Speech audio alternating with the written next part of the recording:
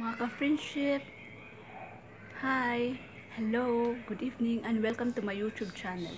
Mga ka-friendship, maraming salamat pala na pinanood nyo yung mga ah, video ko sa YouTube channel. Mga ka-friendship, God bless you. Mga ka-friendship, may, papag may ipapakita ko sa inyo na may nag-advise sa akin na ang santol ay prutas, pwede din siyang gawing ulam. Yan dito po mga ka-friendship, tingnan natin. Ito siya mga ka-friendship. Ah, ito, ito yung santol. Hugasan mo na siya sa tubig.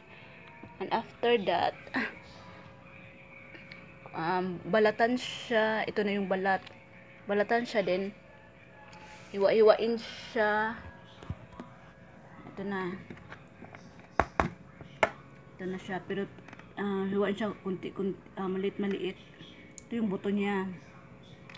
Then, isaw-saw, uh, isaw-saw to siya sa asin. Then, lagay dito sa kanin.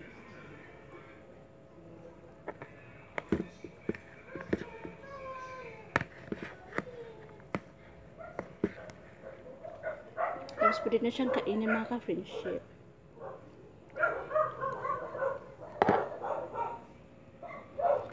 Mm. Masarap.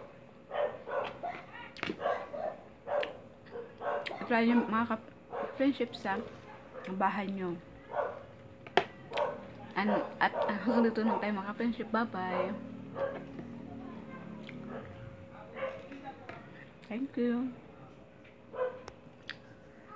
And good luck.